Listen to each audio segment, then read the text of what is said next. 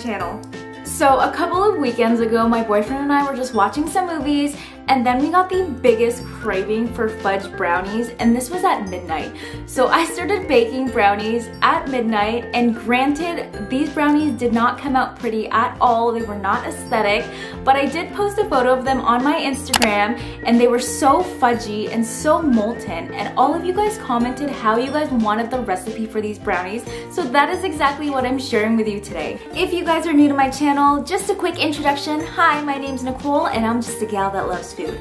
I love baking, I love cooking, and I love sharing my recipes with you guys. I post weekly on YouTube, so if you love food and you love watching recipe videos, definitely subscribe to my channel.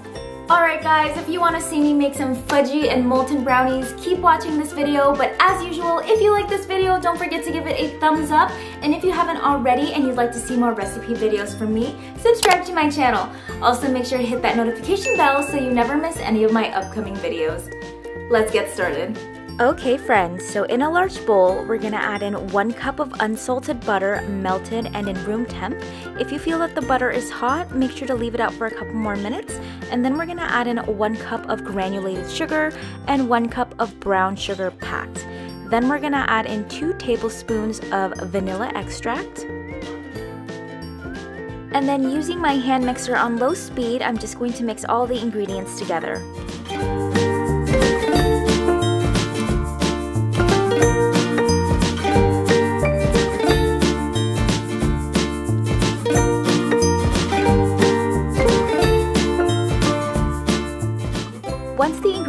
Have been thoroughly mixed together, it's time to add in three large eggs. We're gonna add these eggs one at a time into the mixture, so add in your first egg and then mix on low speed again with your hand mixer, and then we're gonna complete this process again two more times for the rest of our eggs.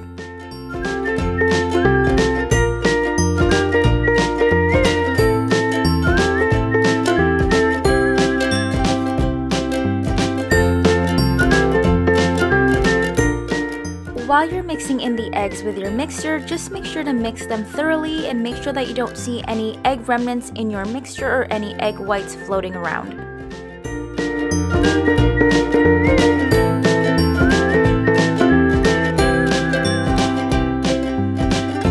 Alright, now that the eggs have been thoroughly mixed in, it's time to add in our dry ingredients. And today we're going to add in 1 cup of all-purpose flour with 3 and a quarter cups of cocoa powder.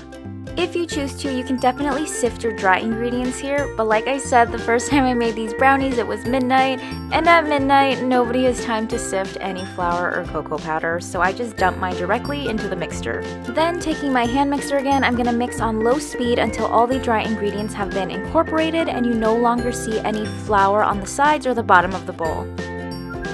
Once you're done mixing, I'm just to go into the mixture again with a spatula just to make sure I scrape down the sides of the bowl and make sure to check the pillow of flour I call it at the bottom of your bowl because flour does tend to fall to the bottom. And once that's done, you should be left with a super thick and silky brownie batter. And of course, because Easter is just around the corner, my mix-ins today are going to be Easter themed, so I'm using Easter M&Ms and also Hershey chocolate eggs, but you can also use mini eggs or any other Easter chocolate coated candy. I literally got that backwards. I meant candy coated chocolate. Then using my spatula, I'm just going to slowly fold in the mix-ins into my brownie batter, making sure not to overmix the batter as well.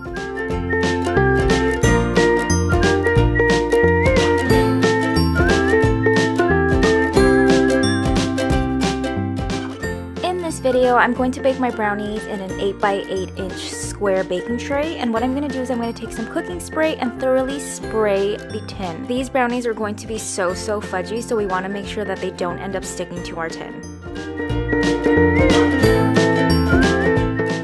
Once I'm done greasing the tin, I'm also going to add in some parchment paper.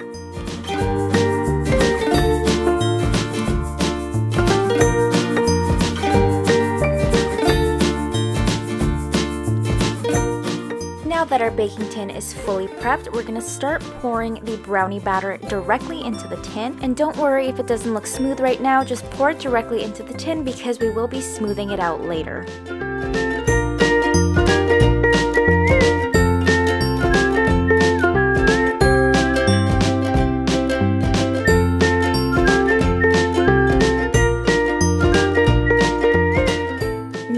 Brownie batter has been completely poured in, I'm just going to go in preliminarily with my spatula and smooth it out as much as I can. We want to make sure that it's smoothed out evenly throughout the tin so that there's an even bake throughout the brownie. Now I am using my offset spatula to smooth out the brownie batter to ensure that this brownie has an even bake.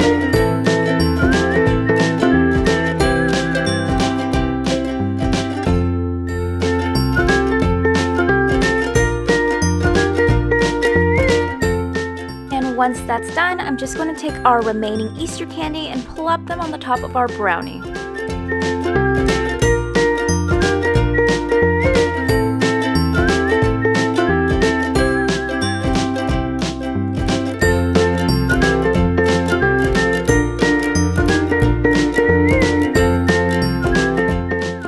Once done, your brownie should look something like this. Our brownie looks super festive with all the Easter candy that we added, and now this bad boy is ready to be popped into the oven, so we're gonna bake this at 350 Fahrenheit for about 45 to 50 minutes. Out of the oven, you'll notice that your brownies are still going to be wet inside, but that's exactly how we want it, and that's how we get fudgy brownies, and make sure to let them rest for 30 minutes minimum out of the oven. And once your brownies have completely cooled, it is time to slice.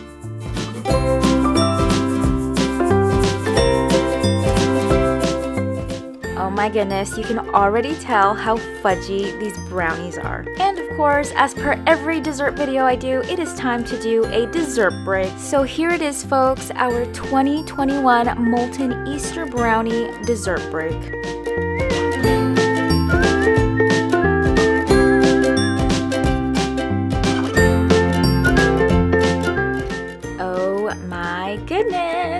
Is so fudgy. Alrighty guys, that is it for today's video. I hope you enjoyed it. If you're ever craving brownies at midnight, definitely try out this recipe because these brownies are amazing.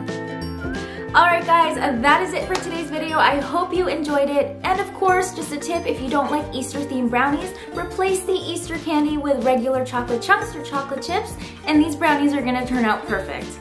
If you guys end up recreating these brownies, don't forget to tag me on my Instagram at Nicole Sharmaine. I love seeing all of your recreations and sharing them on my page. Also, if you didn't know, a couple weeks ago I made a TikTok account. So bear with me while I still learn how to use this platform, but definitely follow me on there because I think I'm getting the hang of it. Alright guys, before I let you go, if you like this video, don't forget to give it a thumbs up. And if you haven't already, make sure to subscribe to my channel. Also, don't forget to hit that notification bell so you never miss any of my upcoming videos. Thank you guys so much for watching, and I'll see you next time. The eggs and chocolate... I don't even know what type of chocolate. Easter M&M, sorry.